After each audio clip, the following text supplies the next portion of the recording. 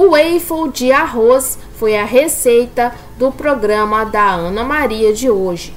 O waffle de arroz é feito com arroz para sushi, mas você também pode fazer com seu arroz comum. Essa receita leva ingredientes da cozinha japonesa e combina com o lanche da tarde ou o seu café da manhã. O waffle de arroz tem o passo a passo bem simples e é ensinado nas redes sociais por Alexa Santos, uma criadora de conteúdo e também cozinheira.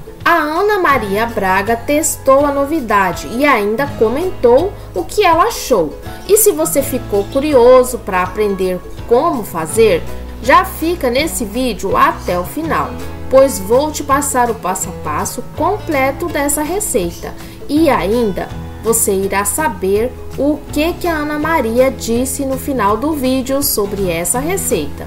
Você irá se surpreender, mas antes já deixa o seu like e se inscreva no canal. Comenta também aqui abaixo nos comentários desse vídeo o seu nome e de qual lugar que você me assiste, que eu vou adorar saber. Ingredientes para o eifo de arroz. Uma xícara de chá de arroz comum ou arroz de sushi cru, cozido de acordo com as instruções da embalagem.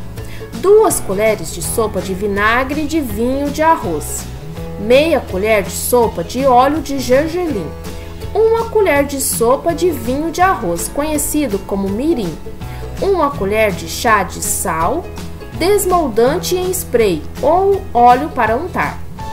Ingredientes para o recheio: 85 gramas de atum cortado em cubos pequenos, 85 gramas de salmão cortado em cubos pequenos, um quarto de xícara de chá de pepino finamente picado, meio abacate cortado em cubos pequenos, uma colher de sopa de molho de soja com baixo teor de sódio, wasabi para decorar, molho de pimenta tailandês para decorar, sementes de gergelim a gosto para decorar, cebolinha a gosto e cortada em fatias finas para decorar e maionese japonesa a gosto. Esse recheio é opcional, você pode escolher o seu próprio recheio a gosto. Modo de preparo do eifo de arroz.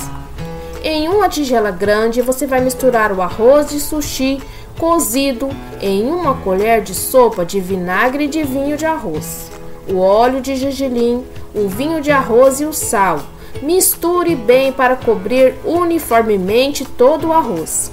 Aqueça uma pequena máquina de waffle e unte com desmoldante ou óleo.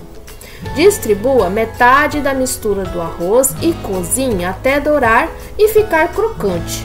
Repita o processo com a outra metade do arroz e reserve os waffles de arroz. Para montar, alterne entre cubos de atum, salmão, pepino e abacate, preenchendo os buracos do waffle. Regue o molho de soja por cima Decore com os pequenos pontos de wasabi e a maionese japonesa.